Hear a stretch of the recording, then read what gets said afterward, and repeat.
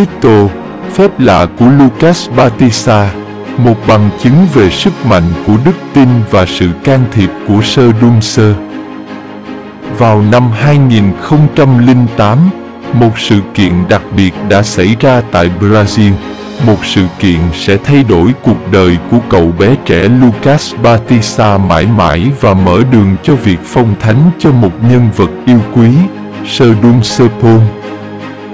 Lucas Batista sinh ra với một tình trạng bẩm sinh khiến anh không thể đi lại, đã trở thành người được chữa lành một cách kỳ diệu nhờ sự can thiệp của Sơ Đun Sơ, đánh dấu một bước ngoặt trong cuộc đời anh và làm bùng cháy một làn sóng tận hiến và lòng biết ơn. Hành trình của Lucas Batista bắt đầu với cuộc chiến quen thuộc của nhiều gia đình đối diện với thách thức về y tế sinh ra với một bệnh tình mà các bác sĩ coi là không thể chữa trị. Cha mẹ anh, giống như bất kỳ bậc phụ huynh nào, tìm sự an ủi trong lời nguyện và đức tin.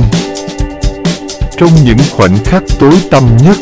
họ quay về với Sơ Đun Sơ Pôn, một tia hy vọng và lòng từ bi nổi tiếng với sự hiến dân vô điều kiện của bà đối với người nghèo và người bệnh. Với lòng tin không lay động, gia đình Lucas Batista cầu nguyện mạnh mẽ để sơ đun sơ can thiệp, cầu xin bà với hy vọng và tuyệt vọng. Và sau đó, trong một khoảnh khắc mà không thể giải thích được bằng y học, Lucas trải qua một sự chữa lành kỳ diệu. Dần dần, các triệu chứng của bệnh bẩm sinh của anh bắt đầu giảm bớt và anh đã có khả năng đi lại, một phát triển làm kinh ngạc các bác sĩ và mang lại nước mắt của niềm vui cho gia đình anh. Sự chữa lành của Lucas Batista không chỉ là một hiện tượng y học,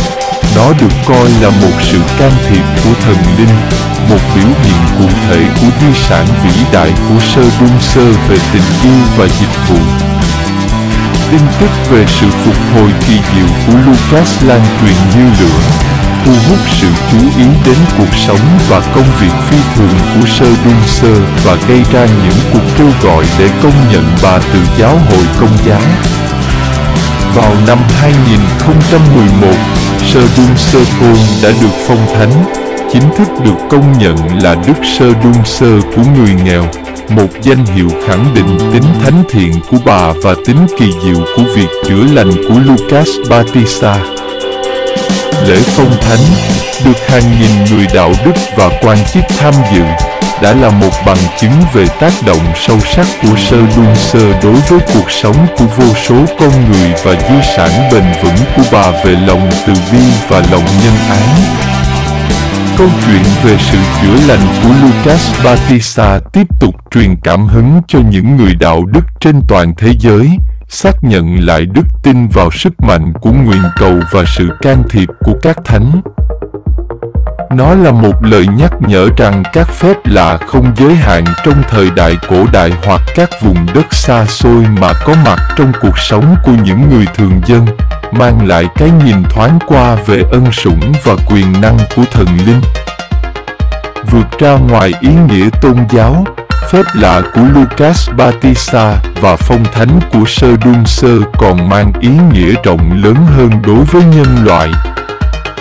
Chúng nhắc nhở chúng ta về sức mạnh biến đổi của tình yêu và lòng từ bi, yêu cầu chúng ta làm theo ví dụ của Sơ Đun Sơ về sự hiến dân vô điều kiện và đồng lòng với những người bị cách biệt và đau đớn. Khi chúng ta suy ngẫm về phép lạ của Lucas Batista và phong thánh của Sơ Đun Sơ Pôn,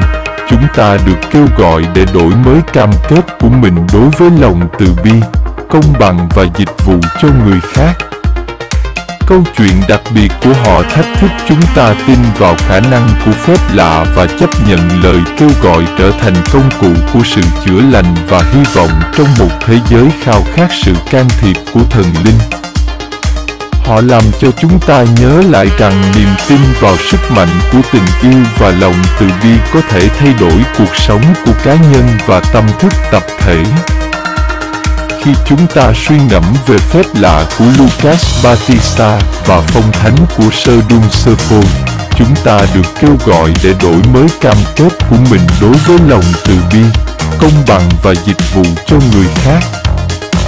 Câu chuyện đặc biệt của họ thách thức chúng ta tin vào khả năng của phép lạ và chấp nhận lời kêu gọi trở thành công cụ của sự chữa lành và hy vọng trong một thế giới khao khát sự can thiệp của thần linh. Họ làm cho chúng ta nhớ lại rằng niềm tin vào sức mạnh của tình yêu và lòng từ bi có thể thay đổi cuộc sống của cá nhân và tâm thức tập thể.